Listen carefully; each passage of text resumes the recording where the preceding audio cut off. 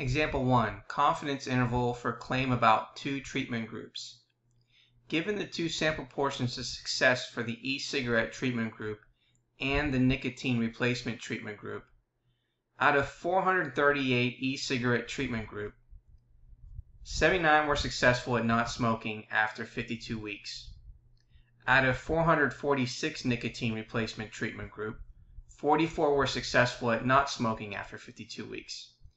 Use the sample data given to construct a 95% confidence interval estimate of the difference between the two population proportions. What does the result suggest about the claim that there is no difference in success rates between the two treatment groups? Well, first we need to identify the following. We're going to let the e-cigarette group be the population 1. So we're going to let that be population 1. So, and in that, we know x1 is 79 and n1 is 438. Okay. And then we're going to let the nicotine replacement group be population 2. And so x2 is 44 and n2 is 446. Okay. So now what we want to do is we want to find out what is the point estimate for the cigarette group for the e-cigarette group. So the point estimate for that is taking x1 divided by n1, and that's 79 divided by 438, which gives us 0.180365. And then the point estimate for the nicotine replacement group is x2 divided by n2, and that's 44 divided by 446. Rounding to six decimal places gives us 0.0 98655. Now the requirements. Well, the description of the selection of study subjects and the random assignment to groups confirms that the two samples can be treated as simple random samples for the purposes of this analysis. Number two, the two samples are independent because subjects in the samples are not matched or paired in any way. And number three, consider a success to be a smoker who is not smoking after 52 weeks. For the e-cigarette group, the number of successes is 79, and the number of failures is 438 minus 79, which is 359. So they are both at least 5. For the nicotine replacement group, the number of successes is 44, and the number of failures, 446 minus 44 is equal to 402. So they are both at least 5. Therefore, the requirements are satisfied. Okay, now in step three, we want to be able to find the critical value. Now, the confidence level for the confidence interval. Okay, so they're asking us to uh, construct a 95% confidence interval estimate. So it's a 95% confidence interval estimate, and we also know that it's two-tailed. So the claim is that there is no difference in success rates between the two treatment groups can be tested with a 0.05 significance level by constructing a 95% confidence interval. So therefore, we're going to be using the 95% confidence interval because this is a two-tailed test. So what you need to do is find out what alpha is going to represent and then alpha divided by 2. Well, alpha is equal to 1 minus 0.95 for the 95%, which is equal to 0.05. And then if we take that alpha of 0.05 and divide that by 2, that gives us 0.025. So let's go ahead and correct that there. This should be 0.025.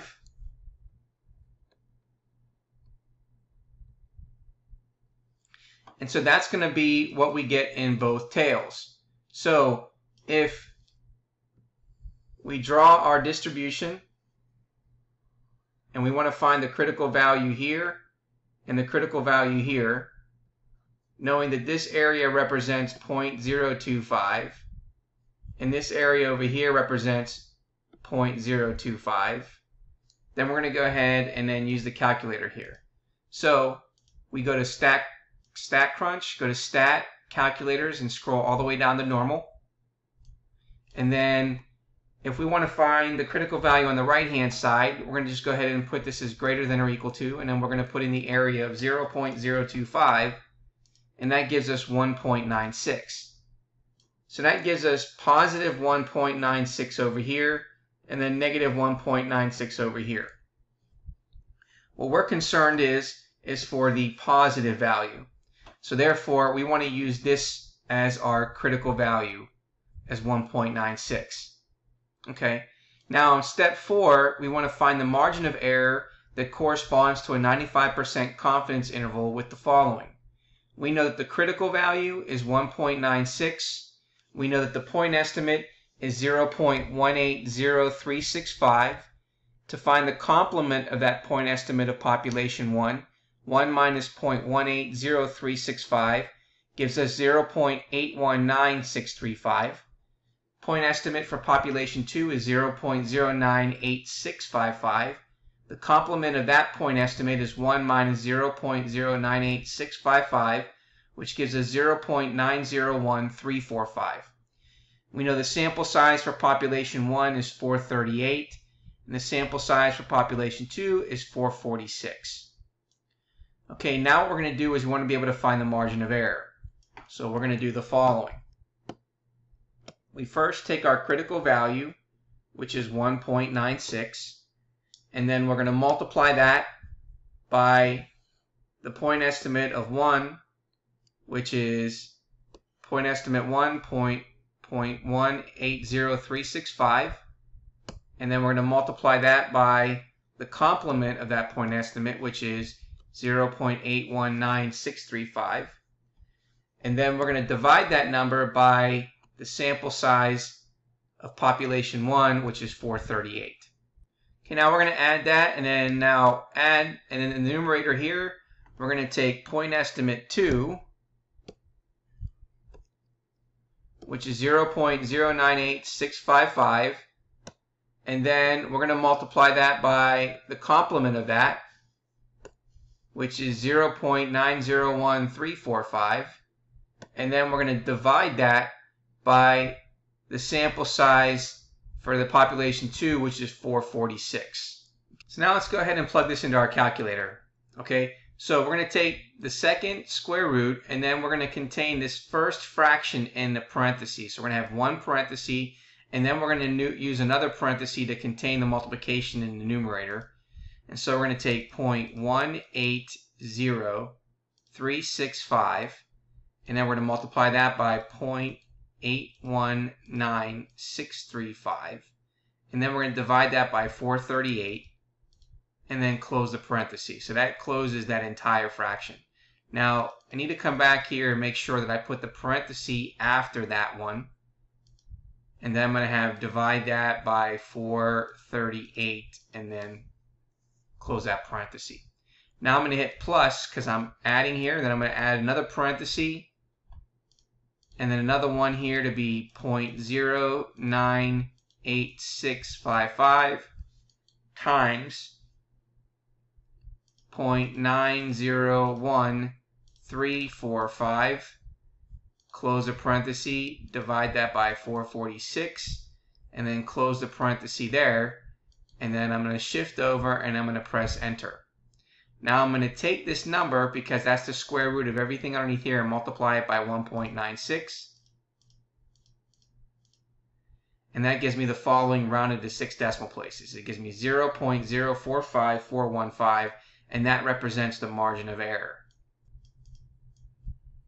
Okay, now in step five, we want to find the 95% confidence interval estimate of the two treatment groups with the following we know that the point estimate of 0.180365 for 1, point estimate 2 is 0.098655, and the margin error we just found to be 0.045415.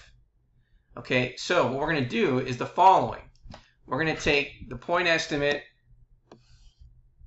for 1, and then we're going to subtract the point estimate of 2 in parentheses and then we're going to subtract the margin of error here for the lower limit. For the upper limit, we're again going to take point estimate 1, and then we're going to subtract point estimate 2, and then we're going to add the margin of error here. Okay, so let's go ahead and do that. Let's go ahead and put our numbers in here. So let's go ahead and put this in our calculator. So for here, for our lower limit, we're going to do the following. We have parentheses 0 0.180365 minus 0 0.098655 and that close that parentheses and then we're going to subtract the margin of error to get 0.045415 and that gives us that value there. Okay now let's find that's the lower limit. Now let's find the upper limit over here. So if we want to find the upper limit what we can do is just come up here press enter if you're using this calculator and then just change this to a addition. Because we're just adding this part now. Everything else is kept the same and therefore we get that. So with our confidence intervals, we have to round them to three decimal places. So the lower limit is going to be 0.036. The upper limit is going to be 0.127.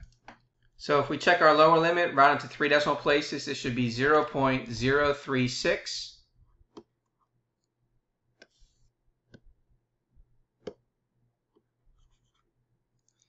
And over on the right, it should be 0.127. And let me go ahead and make sure that's rounded to three decimal places there. So now we want to state our conclusion.